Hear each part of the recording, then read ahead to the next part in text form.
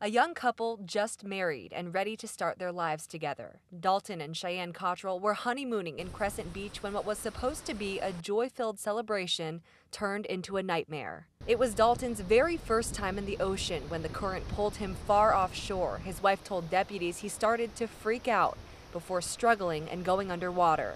Despite his wife, a good Samaritan, and lifeguards trying to help, the 22 year old didn't survive. I'm just devastated to find out that he didn't make it. We spoke with several people who watched rescuers bring the 22 year old back to shore and start CPR. But it was like so many people, it's like we're hovering over and like because they knew it wasn't it wasn't going to turn out well. They say conditions were rough Tuesday and the couple was far offshore. Cheyenne wasn't ready to talk with us on camera today, but she did tell us about her husband.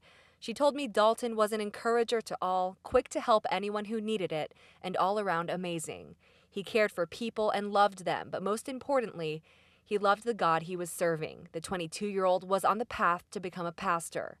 In a public post on Facebook, Cheyenne wrote, Never did I think at 22 I would be a wife and then a widow so quickly. Please pray for I and all families as we grieve.